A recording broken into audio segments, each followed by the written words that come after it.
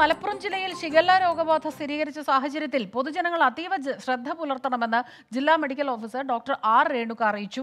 കൊണ്ടോട്ടി നെടിയിരിപ്പിൽ കുട്ടികൾ ഉൾപ്പെടെ മൂന്ന് പേരിലാണ് കഴിഞ്ഞ ദിവസം ബാക്ടീരിയയുടെ സാന്നിധ്യം കണ്ടെത്തിയത്.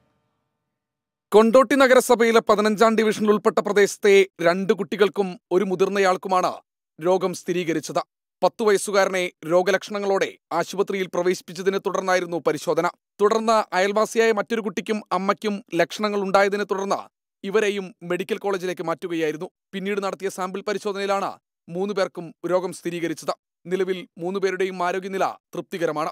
രണ്ടുപേർ കാര്യമായ പ്രശ്നങ്ങളില്ലാത്തതിനെ തുടർന്ന് വീട്ടിലേക്ക് മടങ്ങി.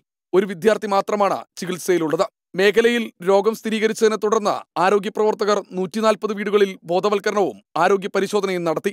മേഖലയിൽ നിന്ന് വെള്ളം ഭക്ഷണം എന്നിവയുടെ സാമ്പിൾ പരിശോധനയ്ക്കായി ശേഖരിച്ചു. ഭക്ഷ്യസുരക്ഷാ വിഭാഗവും പരിശോധന നടത്തുന്നുണ്ട്. ജില്ലയിൽ ഷിഗല്ലെ സ്ഥിരീകരിച്ച സാഹചര്യത്തിൽ പൊതുജനങ്ങൾ ജാഗ്രത പാലിക്കണമെന്ന് ആരോഗ്യവകുപ്പ് അറിയിച്ചു. ട്വന്റി മലപ്പുറം.